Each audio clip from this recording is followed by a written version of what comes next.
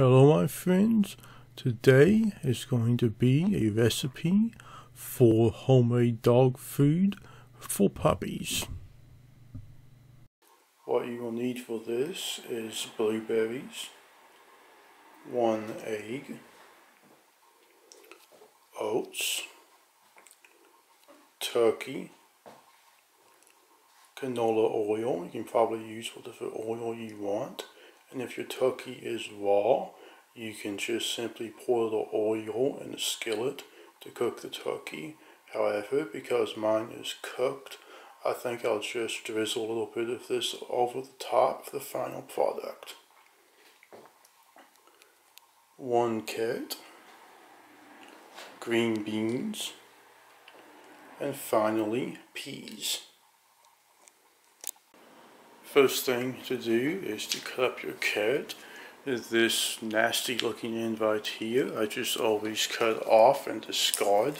And you can cut this up finely with a knife if you want to. Or you can just cut it into larger chunks like this.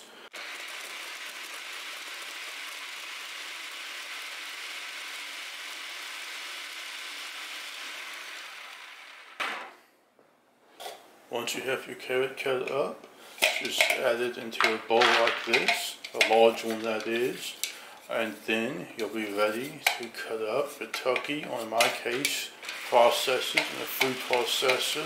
You get done a lot quicker, and we're going to have a total of about one cup.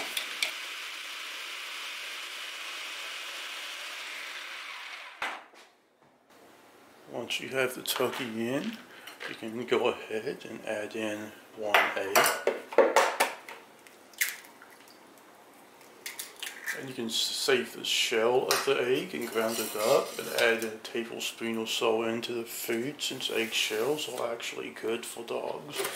And now proceeding, you can add half a cup of oats in.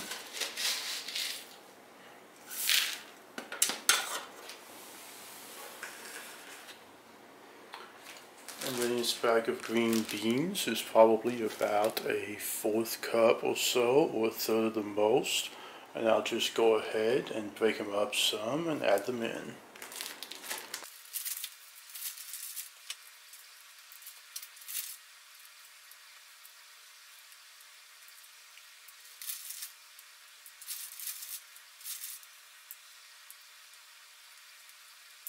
After the green beans, I'm going to add in one third cup of green peas. And now, since the egg is raw, I am going to cook this a little bit since I'm not a raw feeder. And then I'll be back to add a few blueberries into it, and then it will be finished. Even though I said differently earlier, I've changed my mind, and instead of drizzling oil on top, I'm going to add it into the skillet since I'm going to be cooking it anyway.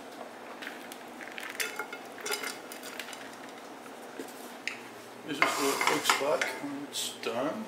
All it's left to do is get it on a plate and then once it's on the plate I can just add in the blueberries and mix them up, let everything cool off and then it'll be ready to serve.